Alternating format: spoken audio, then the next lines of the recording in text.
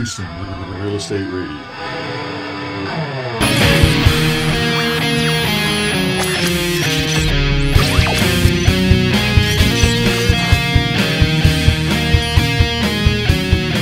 Welcome to Houston Real Estate Radio. I'm your host, Shannon Register, And I'm James Brown. And we're your voice for Texas real estate news and information you can use. We're coming to you from the RREA.com studio over in Spring, Texas. You can join us here every Sunday from 2 to 3 p.m. for all the latest news and information you can use when it comes to real estate. We're going to continue our program, and I'd like to talk to some repre- representatives from Habitat for Humanity that we have here in the studio. We have Linda Neilson, who's the president of Habitat for Humanity and the chair of the Family Selection Committee, uh, Kenneth Meinert, who is the Restore Development Manager, and Soleil Watt, who is the executive director for Habitat for Humanity. So, go ahead and tell us your mission. I know a lot of people have heard of Habitat for Humanity, but they may not know exactly uh, what the mission is and, and how um, how they can be a part of the organization. The uh, mission of Habitat for Humanity is to provide safe, decent, affordable housing for families in need, and um, we do so in partnership with the community and our families. And how do you uh, go through the selection process and find these families? actually the families seem to find us. Uh, it's it's amazing to me how many people will ask about how to qualify for a habitat home. Um, for our affiliate, the first thing they have to do is come to what we call an orientation meeting, which gives them the opportunity to really learn about the program, learn what they're going to have to do to qualify, what kind of documentation we need, all that kind of thing.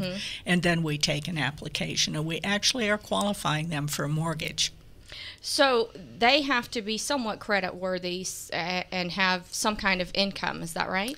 They have to have some kind of stable income, uh, but that does not mean necessarily that they have to be employed. They could be on disability or retirement or, you know, whatever Sure. is providing them with, with their income. Um, we, unlike commercial mortgage companies, have a much lower credit score that we require. Um, our, our applicants have to have a 500 or better credit score Okay. which is probably 100 points or more lower than, than a regular mortgage company Yeah, that, would that's require. low, but uh, but it's great that this opportunity for them exists. So, where um, I know you're you're talking about different qualifications for them, but what are they actually having to pay back? They have to pay back the mortgage, the interest. Uh, they have to put in any kind of time in building the home. What exactly are they having to do? They are getting the home at cost, Okay. and they are getting a 20 year, 0% mortgage. Wow. So there is no interest whatsoever. And okay, so Habitat's kind of incurring the interest on the loan. Is that right? Well, we're carrying the mortgages, but as long as we have wonderful donors who help us to, to build our homes, we're okay in that front. Mm-hmm. We're not paying money for them um, in terms of interest or anything like that. The families also put in 350 hours minimum of sweat equity, which means they help to build their home and their neighbors' homes. So, and, and that's a really critical part of it.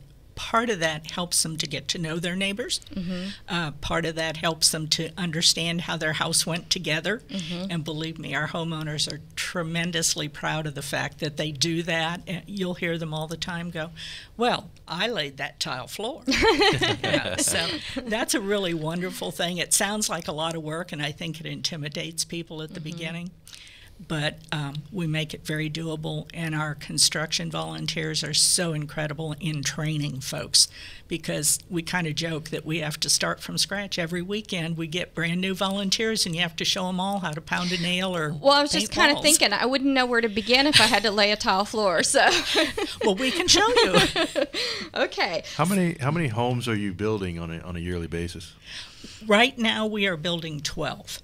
Um, 12 annually, and that's because we're we're strictly volunteer driven. We have very few paid staff, and so it, you can't really manage many more than that. Plus, we were uh, on a pretty aggressive build schedule for the last couple of years, and we're letting our volunteers relax and take a deep breath before we overwork them again. I understand that. How what's the what's the largest number of homes we've built in the area Uh, well, we are in a year? we in a year Or I assume that's how you are you are you looking at it on a yearly basis or Well, we have been in existence since 1989, and we just raised walls on our 200th house. Wow. Um, so it's slow getting started. Uh, for any affiliate, the first couple of years, I don't think they built any houses at all. They were just getting ready. Uh, but after that, I would say our maximum number in any one year was probably 18. And with all volunteers, that's a lot of work. That's a, a lot of work. And you're not just building house by house, you're really building a community, a neighborhood. That's correct.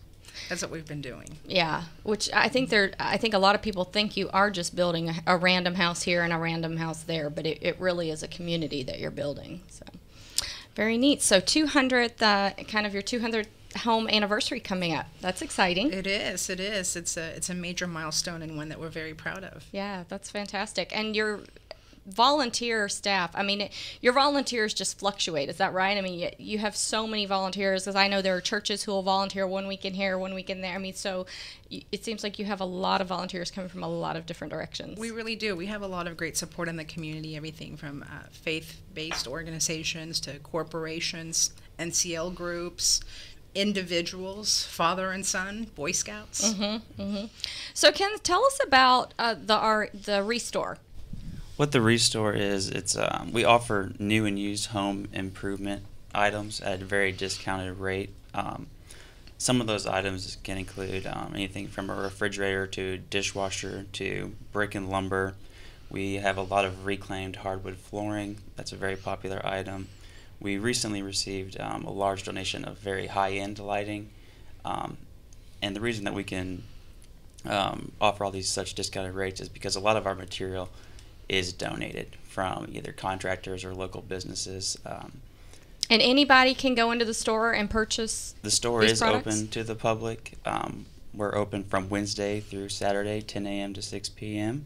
And where are y'all located? We are at the corner of Grant and Jones Road. The physical address is 13350 Jones Road. So if somebody's getting ready to do uh, kind of a, a remodel project, kind of a do-it-yourselfer, they could go over there and find some of their supplies. That's right. Um, a lot of our customers are do-it-yourselfers. Um, because a lot of items are donated, um, our inventory is constantly changing. So it's almost like a treasure hunt when you, come in there. Mm-hmm. Never know what you're gonna find. That's huh? exactly right.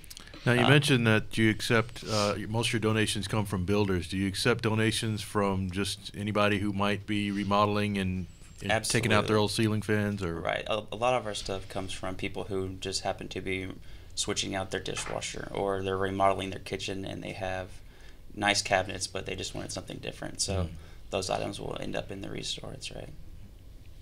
It's fantastic that you offer that. And so let's say um, someone bought a lot and it has a home on an older home and they want to just completely tear it down and, and build a new home.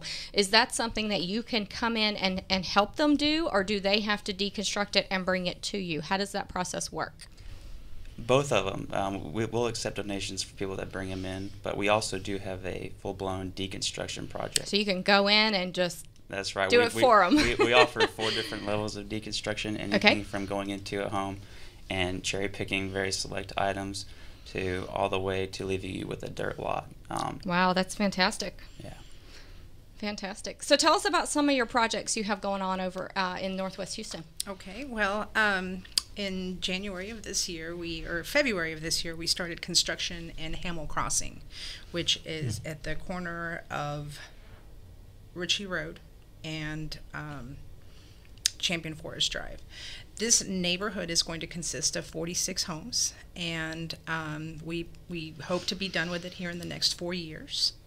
So um, it's something we're very proud of. It's an ongoing project. It that's- is, it is. Yeah, that's a lot to man and keep going. I mean, it's going to take several, many years, I guess, to finish it out. Is that right? Exactly, and we have houses in different phases. So while we have um, recently closed on the fourth house in that neighborhood, we uh, we have several that are in the we're raising walls tomorrow with Bank of America, and then we have others that um, are getting close to to you know being finished. So we just have them at different stages. Who are some of your largest supporters? Oh my gosh, I don't I don't know that I could say just one, but you know, one example uh, in the construction aspect, um, we've had a, a wonderful partnership with Bank of America. With um, different businesses in the community. A- lot of our uh, churches in the community really, really have helped us uh, beyond leaps and bounds. So I don't know that I could say there's one that's bigger than the other because their constant support is what makes what we do possible. So you've got a lot of big donations coming in, which is good. We do. Very we do. good. And um, do you have a way for people to volunteer, uh, or I'm sorry, to donate to the organization? Is there a way they can go online and do that, or if they wanted to donate, or, or they wanted to get their church involved, how would they do that?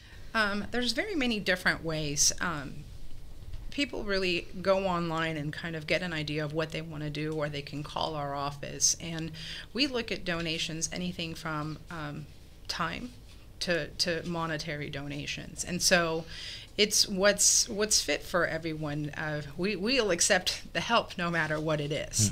And so um, sometimes it might be that a family chooses to get involved. They have a wonderful time, and then a year later, they decide that they want to give us a monetary donation.